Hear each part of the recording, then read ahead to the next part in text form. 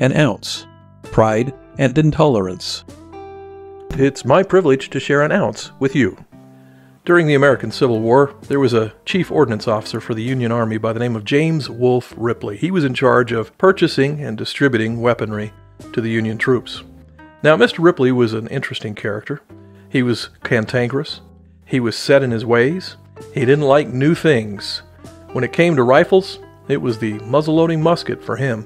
In spite of the fact that the Spencer Company was producing a repeating rifle that worked very well and had been proven in the battlefield, somehow without the help of Mr. Ripley, about 2,500 of these rifles had gotten into the hands of some Union troops who had used them effectively to hold off a Confederate attack from a number three times their size.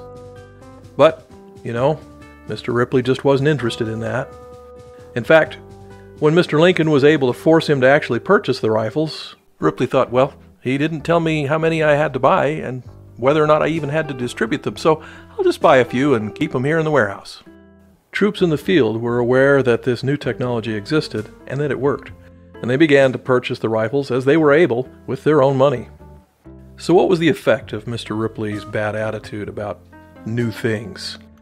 Experts tell us that he probably extended the war by two years and cost hundreds of thousands of lives. Pretty shocking that one man can do that.